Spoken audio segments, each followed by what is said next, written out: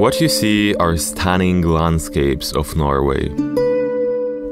Incredible views which hide something special within them. They are the Atlantic raised bogs, and they are more important than you might think.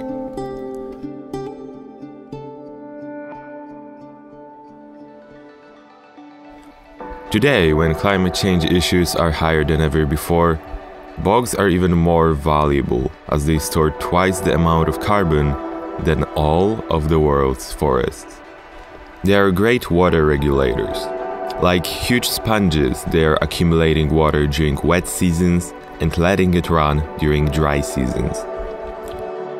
The Atlantic raised bogs are unique in Europe and are mostly located in Norway, Ireland, and the United Kingdom.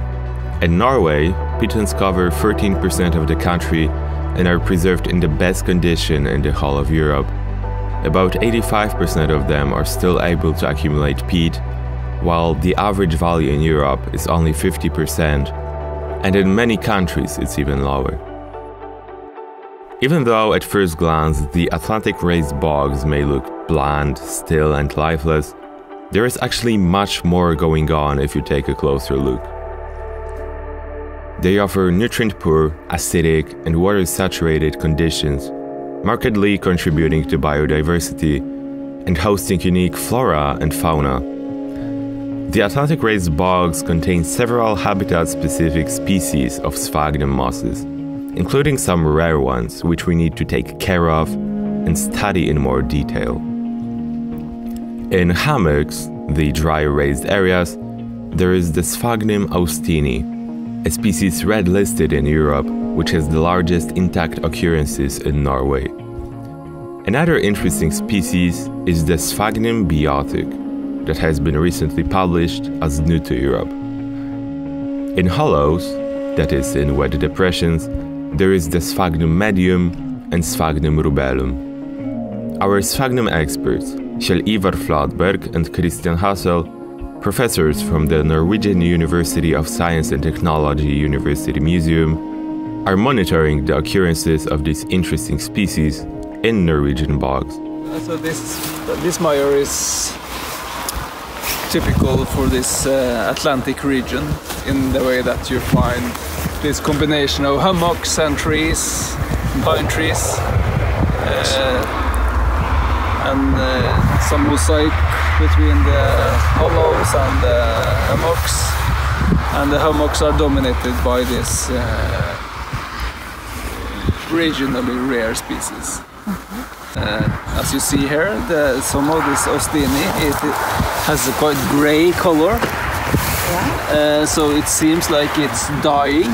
See here? Yeah. Yeah, it looks like dying. It's not. So yeah, so that's uh, we are wondering what happens when uh, austini is uh, dying on these hummocks. Will some other species uh, come in, or will it recolonize the peat?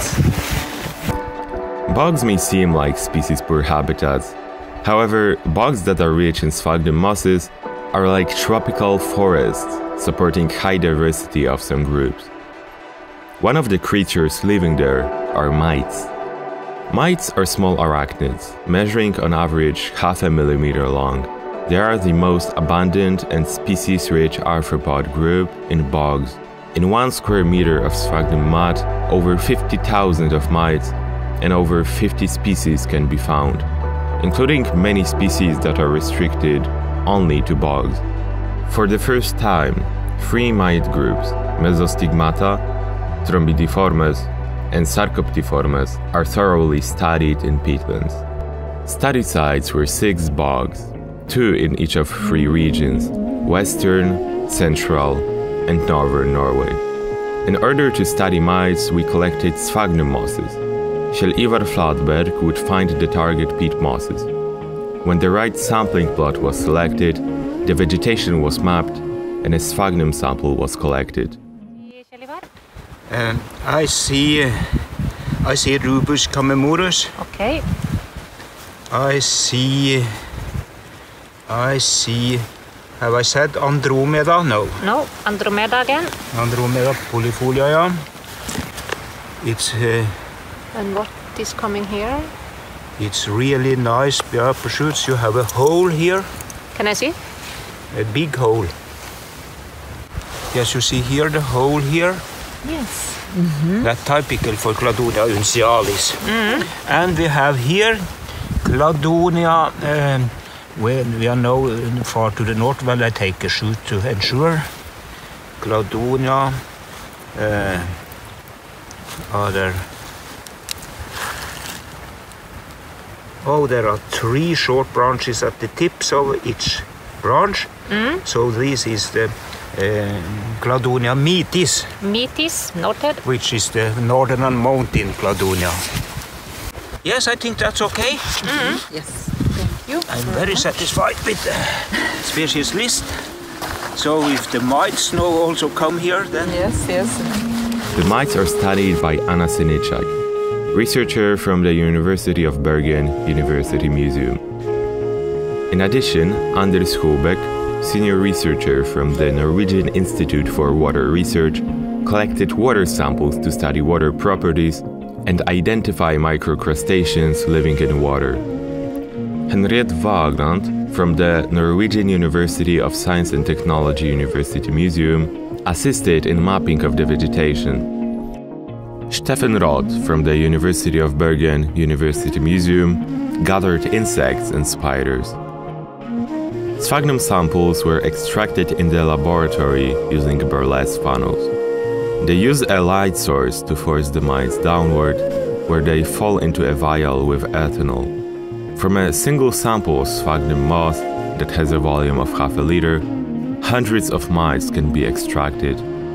So, during the fieldwork, we collected tens of thousands of them. Mite communities differ in bog microhabitats. In bog hummocks, terrestrial species dominate. One of them is the Sellnickochthonius cricoides, a species new to Norway found in a bog in Trondelag. It is the smallest oribatid species known in Norway. Its body length is only around 150 micrometers. In wet microhabitats, aquatic species are abundant. For example, the Limnoceras schatzi, which is a new species to science, also found in a bog in Trondelag. So far, more than 20 mite species new to Norway have been found, and several species new to science. This shows that the Atlantic raised bogs hide real biodiversity treasures and deserve our attention and protection.